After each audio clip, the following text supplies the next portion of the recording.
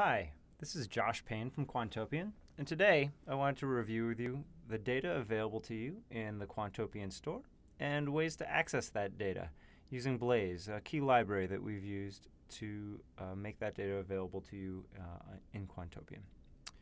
So we're going to start here today just in the storefront, just to review the basics, uh, navigating the store. You can access it via the navigation item uh, when you're logged in, the store. And you can see that we've got institutional quality feeds here um, available to you for use on Quantopian. Uh, we've got 20 plus feeds from three separate vendors here today. It's October 2015. So at that point in time, at launch, we've got lots of feeds here, and we've got more in the pipeline that we're adding uh, every day and working to add every day. You can scroll through, check out which feeds you might be interested in, and dig in. Let's let's look at one. In this case, let's look at Estimize, a vendor that provides crowdsourced earnings estimates data. Now you notice that the price is there, it's $10 a month. The store runs on a subscription fee, but for every data vendor and every data set that we provide here in Quantopian, we provide a free sample. So in this case, Estimize's data dates back to October 2010, and we provide uh, we provide access via a free sample of data all the way up to one year ago from today. So on a, on a moving basis, uh, trailing one year window, uh, you don't have access to October 7th, 2014 through uh, 2015. But uh, from the beginning of Estimize dataset out to one year from today, you, you can access the data through their free sample. If you'd like access to the more recent data and the daily updates that come in from Estimize, well, then you need to subscribe at the $10 a month subscription fee. Going through the rest of the details here, we give some key metrics uh, we outline here just to give you a little bit of an idea of what's available in the dataset. That's not all the data that's available. Uh, you can go, and if you're curious to learn more about the data, you can go click uh, this example notebook. Uh, the example notebook will take you to a Quantopian research notebook that shows all the fields and all of uh, all of the data in action in a sort of simple, simple, basic way. So if we hop over here, we can see that we've got uh, Estimize. It gives a little review on Blaze, which I'll give verbally in the in the next portion, um, and then it shows all the different all the data and gives you sort of a rundown on all the fields that are available. Uh, so you can get sort of detailed documentation if you go off and click on that example notebook.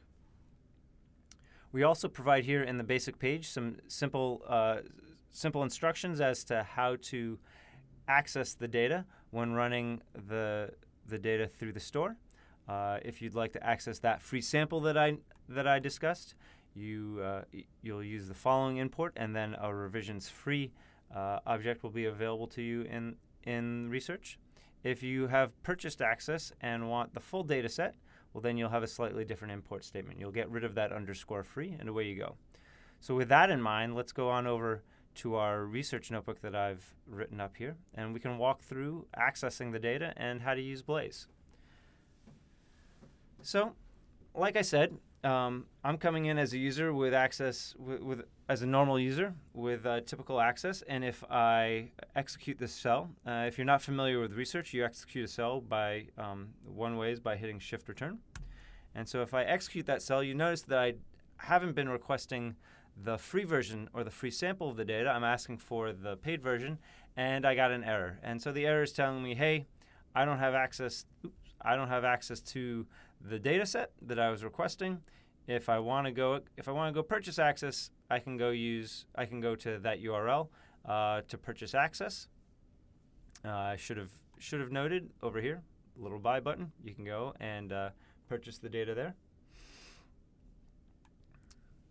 Uh, but if you want to just play around with the data, examine the data, try it before you buy it, um, you can access uh, the, those four years of, of free data, four days and four years and growing, uh, just by appending underscore free. So there, I didn't get the error this time.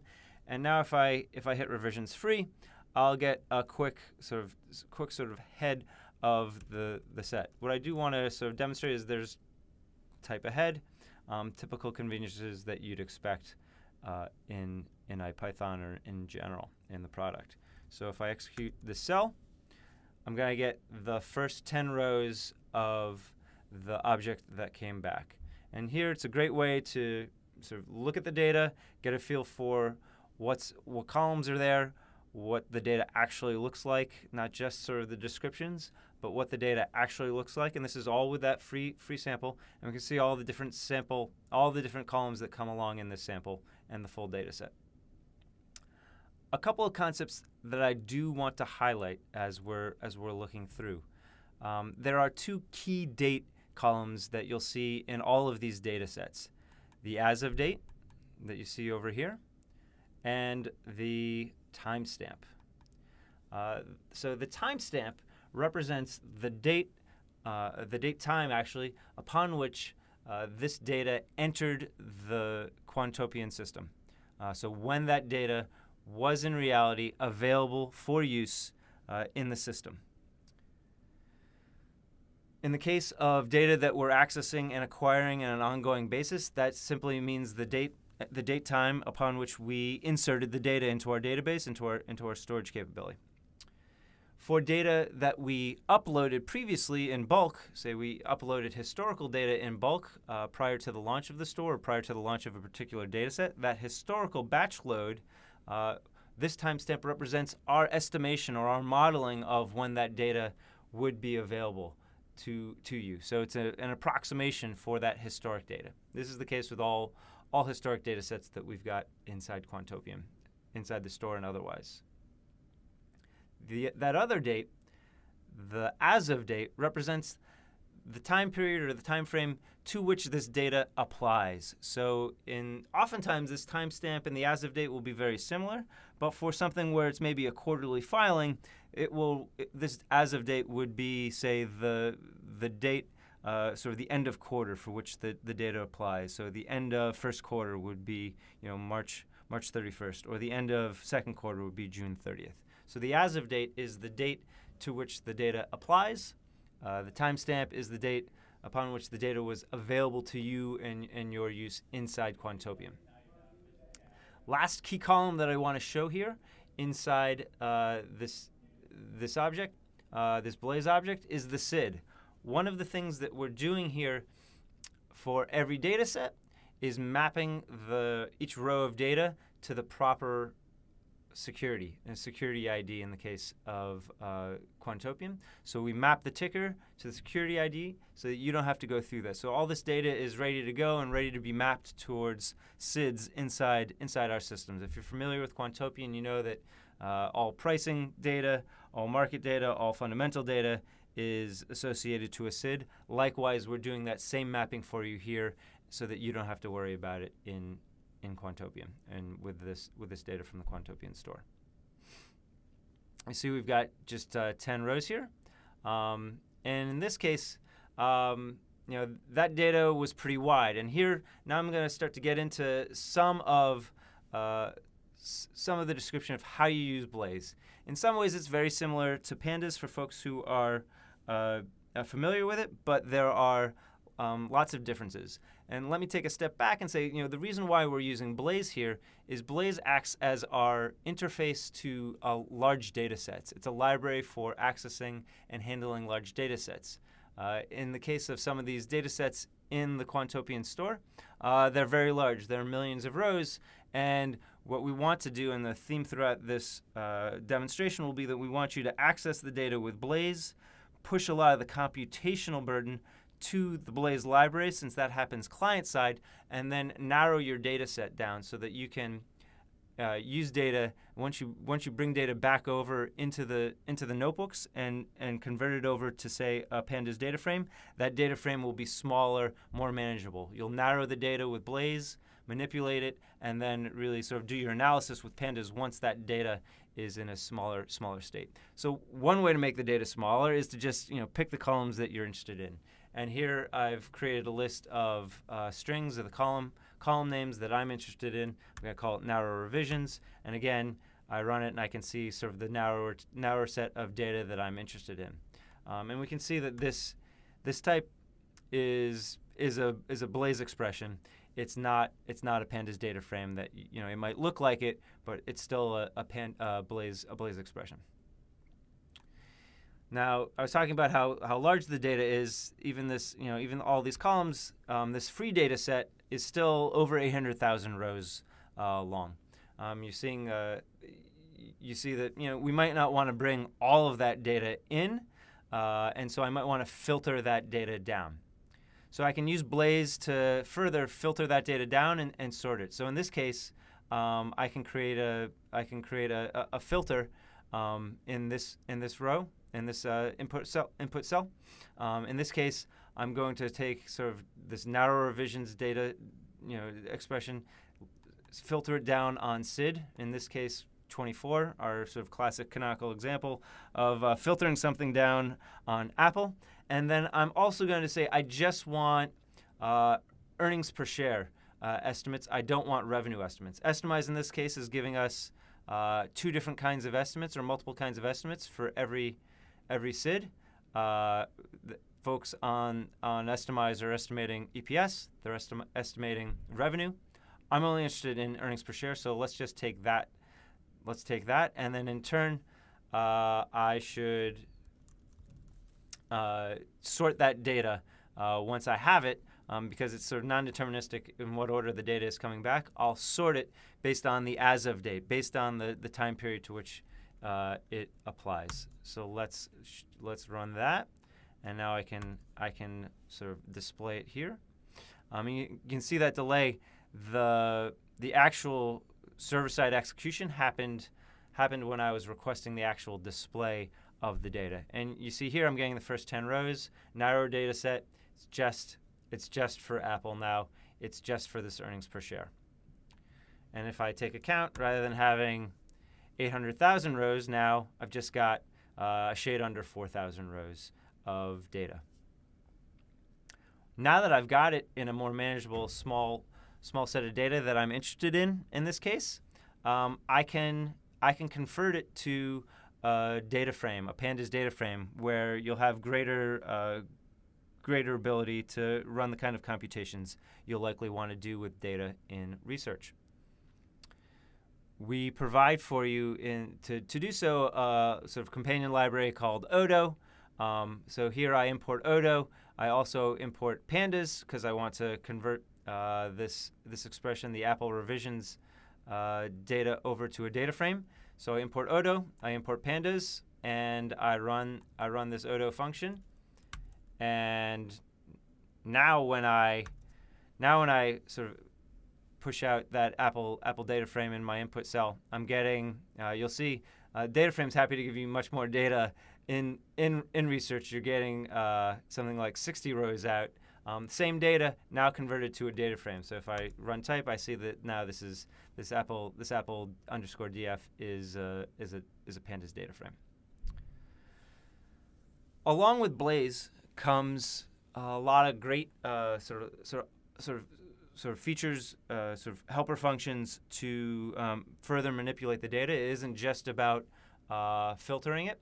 Um, so there are ways to, uh, two of my favorite features here that come along with Blaze are this by function and joining. So joining, uh, I'll, I'll just first, that's shown in a lot of the other examples in those example notebooks, so I won't show it here.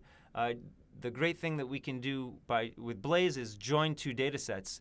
Um, since we've done all this mapping by SID, we can do what is uh, de facto uh, a database join uh, in Blaze by uh, sort of mapping things together based on SID and join so two data, data sets that have come from two totally different data vendors. So I might take a data set from EventVestor, I might take a data set from Estimize, since they've both been mapped with as of dates and, and the SID, more importantly we can join those together and create uh, unique data sets that are joined that, that reflect the data from two different vendors um, easily, quickly here in a couple lines of code in Quantopian. What I'll show here is actually doing a, a, a group by um, or grouped reductions. So uh, in this case, I'll take a new data set. I'll take one from Accern, which is a sentiment, uh, sentiment data. In the case of Accern, Uh, let's go. Let's go look at the data. We'll we'll sort it by as of date. We'll see that we have uh, for each day we've got an entry for each uh, each ticker and uh, the article sentiments that were published on that day and the SID, of course. Timestamp as of date again present in all of these data sets. In this case, what I want to do is say, I'm not interested in the news sentiment on a company by company basis. I want to know the overall sentiment for the entire market or all the all the tickers that Accern was covering in on that particular day. And I'll check that out on a day by day, day by day basis. So Blaze provides uh, this by this by function um, for doing grouped reductions. You can split the data up, uh, apply uh, up, apply sort of the apply the, the operation and then combine the data back up together. It's sort of a, a map reduce in a way. So I say I want the average daily sentiment. I'm going to you know import Blaze as BZ. I, I want the average sentiment, so I'll ask I'll, I'll, I'll go get the by function here. I'll tell on what on what metric in that data set I want to group by. In this case, I want to use the as of date, uh, the date the date to which the, the, the data applies, um, the sentiment in this case applies, and then I'll say I want to uh, I want to sort of average up the article sentiment for all all articles or all companies on that particular date. In this case, I'm equally weighting um, each company's articles, but this is um, sort of an example example to, to, to help you understand. And then lastly, I'll, I'll make sure that I sort it uh, by the as of date. So if I run that, um, again, I get the first 10 rows. And then if I count up, I'll see that I've got, you know, rather than sentiment for uh, 770 uh, days over the course of for thousands of companies with many many thousands of rows. I think uh, you know. Trust me, this data has over a million rows. Now I've reduced it down to 773 rows. Uh, I will again, now that I've got the data in a smaller, more manageable, more manageable uh, size, I'll convert it over to a data frame with Odo again and sort it, make sure that I've got it sorted. Uh, and now that it's in a data frame, I can use some of the charting libraries, uh, Matplotlib, or you know, if you want to use Seaborn, um, to actually visualize this data. You know, Blaze isn't going to provide you any visualization, but you can use Odo, convert it over, and then uh, visualize uh, your pandas your pandas data frames or series uh, using Matplotlib, and that's what I'll do here. And here you've got a pretty noisy chart, um, but it shows the average news sentiment from Accern uh, over the full time frame of their uh, of, of their data set that they're providing, their free data set that they're providing here for us. Uh, so from uh, 2012 all the way up to 2014. So again, lots lots more to cover with Blaze. You can definitely dig in. There's documentation here here at the end. Um, if you're very familiar with pandas or if you're very familiar with SQL, there are a couple of really useful pages there that help you to translate um, from from those libraries or from SQL or from Pandas over over to Blaze. Um, I definitely found that uh, useful as someone who is uh, pretty familiar with SQL and, and reasonably familiar with Pandas.